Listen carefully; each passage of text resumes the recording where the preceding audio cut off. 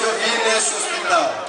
Eu fiquei profundamente impressionado com o trabalho que a irmã Neutrate fazia aqui, transformando isso aqui num dos melhores hospitais do interior do Nordeste brasileiro.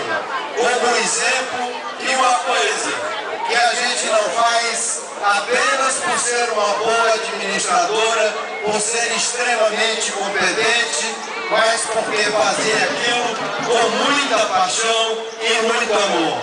Você andando aqui no hospital, você sente em cada canto, em cada cama, em cada leito, em cada equipamento, o traço do amor que a irmã Edelmarte fez, agora a irmã Rosa está fazendo. Da vida, Sérgio, Logo depois que você esteve aqui fazendo a doação de todo esse equipamento desse centro de oncologia, que hoje ainda é. Você viu aqui o doutor Napoleão dizendo que até da Bahia vem fazer tratamento aqui. Bahia, Alagoas, Pernambuco, então é, é uma coisa mais constante, é toda hora. Mas por coincidência, há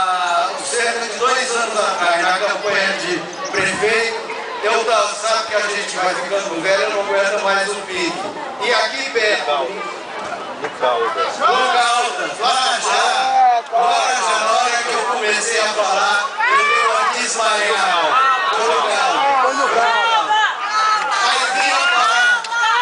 E minha segurança tem que eu vim parar aqui. Por isso eu vim tranquilo, saí tranquilo e saí muito melhor do que eu entrei. Porque não existe, olha, encontrar no Brasil afora, em São Paulo, hospitais mais sofisticados, com mais luxo, mas com tal carinho e dedicação, não só das irmãs, como deste corpo médico aqui, vai ser difícil encontrar. É esse o testemunho que eu